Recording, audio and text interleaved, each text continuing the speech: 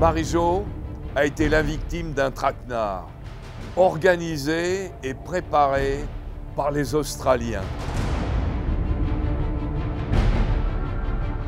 Il y avait euh, euh, une athlète australienne, Cathy Freeman, euh, qui, qui, qui, voulait briller dans son pays et tout le pays la portait. Donc forcément pour Marie-Jo c'était une pression supplémentaire. Cathy Freeman, c'était le symbole aborigène de ces Jeux de Sydney et toute la nation, toutes les valeurs de la nation étaient portées par cette athlète. Et c'était pour le, les Australiens tout à fait inconcevable que Cathy Freeman ne gagne pas le 400 mètres. Dans un pays euh, qui avait volé une partie du territoire aux aborigènes et qui, les avait combattus à la mitrailleuse et qui avait besoin euh, d'une tête d'affiche justement pour redonner un sens à leur politique. Il y a eu une entreprise de SAP qui a été organisée contre Marie-Jo, que je comprends.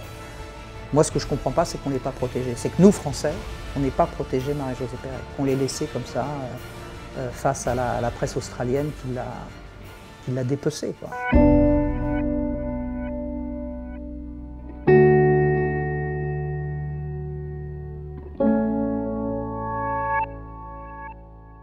Elle n'était pas dans le village olympique, elle était dans un hôtel, elle était toute seule dans un hôtel avec son copain, qui est un copain américain à l'époque, et qui ne comprend pas exactement ce qui se passe. Dans le village, on ne s'en rendait pas forcément compte de tout ce qui se passait, hein, puisqu'on était euh, euh, quand même assez protégés, on n'avait pas forcément toutes les informations. Euh, c'est vrai que Marie-Jo, à cette époque-là, avait fait euh, le choix aussi de se mettre à l'écart de l'équipe de France et du village, et c'est peut-être aussi une erreur de sa part, parce que je pense que dans le village, elle n'aurait peut-être pas été euh, autant harcelée. Et au, au niveau de la Fédé, on n'a pas été très bon, quoi on n'a pas été très bon et on a laissé Marie-Jo seule avec son angoisse, alors que son entraîneur euh, et que pas mal de gens savaient qu'à ce moment-là, elle était, elle était intouchable déjà.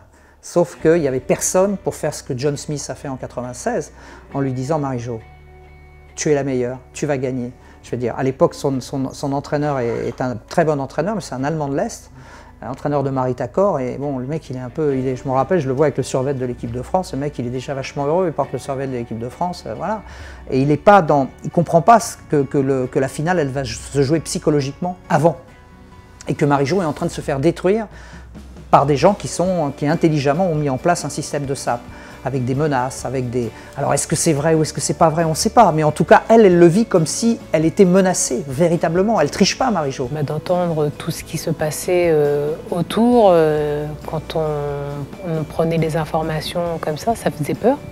C'est vrai que ça faisait peur euh, d'entendre dire qu'elle était menacée, harcelée, et on se posait la question, mais jusqu'où bah, des gens sont capables d'aller? Et il y a un moment, ça devient insupportable, elle s'en va. Quand Marie-Jo Pérec est, est, est, partie, les, les, Australiens ont organisé leur départ. Elle part avec son copain, et elle, elle part comme une voleuse, comme un délinquant. On la retrouve à Singapour, son copain boxe un caméraman parce que, parce que les, la tension est, est extrême, et elle rentre à Paris, et surtout après, elle disparaît. Elle disparaît de la circulation. Et moi, elle me dit, à un moment, quand je la retrouve à San Diego, mais bien après, en 2000 fin 2002, elle me dit euh, j'ai failli me suicider. Hein ah,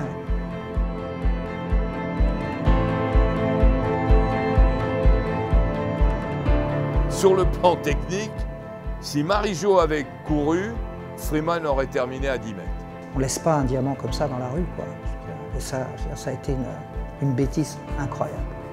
Parce que je vais vous le dire, j'en suis absolument persuadé, Marie-Jo était, et de loin, la meilleure sur 400 mètres. Ce jour-là, elle aurait gagné la médaille d'or. Cathy Freeman, que j'adore aussi, euh, ne pouvait rien faire. Ce qui reste aujourd'hui, c'est pas Sydney. Ce qui reste et qui marque, ce sont ces titres olympiques.